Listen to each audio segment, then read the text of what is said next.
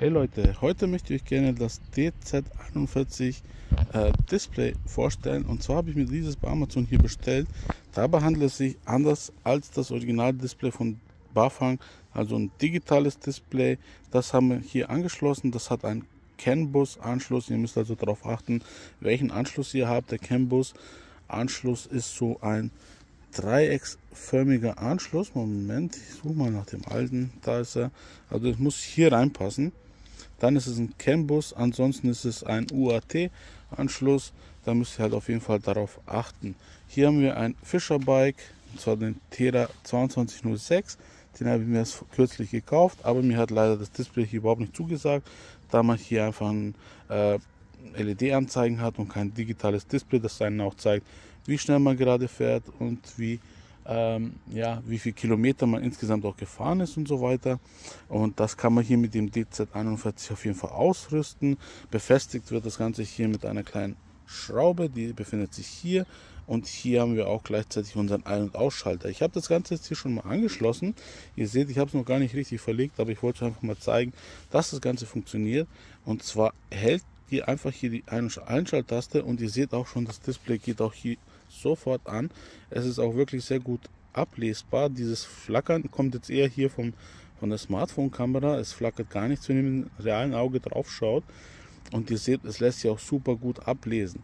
Wir haben dann hier unsere einzelnen Stufen. Ich habe also, wie gesagt, fünf äh, Stufen, die ich einstellen kann. Außerdem haben wir hier zum Beispiel die Gesamtkilometer und hier oben haben wir dann unseren Tacho, wo wir dann auch die ähm, reale ähm, Fahrgeschwindigkeit ablesen können. Und wie gesagt, das Ganze ist super ablesbar.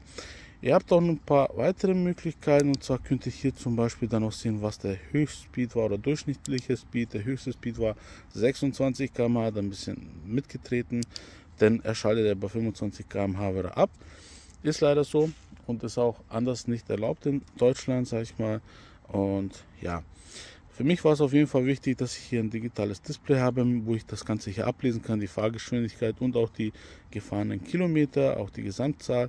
Und wie gesagt, hier unten habt ihr dann auch nochmal den Akkuzustand. Natürlich könnt ihr auch hier wieder das Licht ein- und ausschalten, wenn ihr das benötigt. Ich glaube sogar, dass hier ein äh, Lichtsensor verbaut ist, der halt dann das Licht automatisch hier abschaltet. So wie jetzt. Ich versuche mal kurz nochmal einzuschalten einfach hier auf das Plus und ihr seht, ihr könnt auch tagsüber das Licht, wenn ihr es benötigt, einschalten. Ihr könnt auch das Display komplett zurücksetzen, indem ihr hier drauf bleibt. Und dann seht ihr, dass es hin und her wechselt. Das Ganze könnt ihr hier bestätigen und ihr seht, wir haben jetzt hier Gesamtkilometer 0. Also ihr könnt es auch, wie gesagt, ganz einfach schnell zurücksetzen. Hier seht ihr auch jetzt hier meine gefahrene Geschwindigkeit. Und ihr seht es wirklich super zum Ablesen.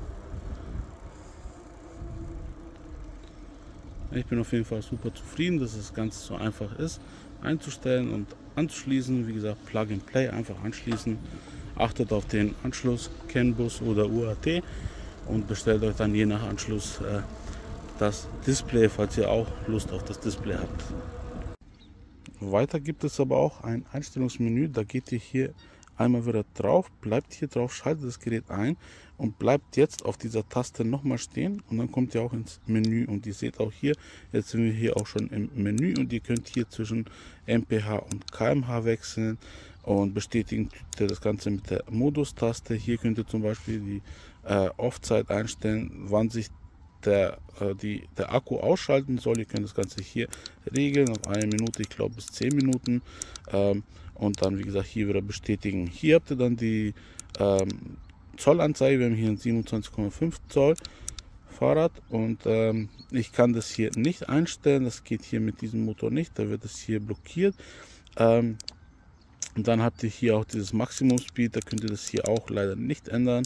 Oder es ist ja auch, wie gesagt, nicht erlaubt. Was haben wir hier? Das weiß ich jetzt leider hier gar nicht genau, was das sein soll. Und hier habt ihr auch nochmal das Licht, das ihr ein- und ausschalten könnt. Das könnt ihr also, glaube ich, hier sogar dauerhaft eingeschaltet lassen, aber das mache ich nicht. Und ja, das ist eigentlich das Menü auch und super easy einzustellen. Ja, ich hoffe, ich konnte euch ein bisschen helfen und macht's gut. Ciao, ciao.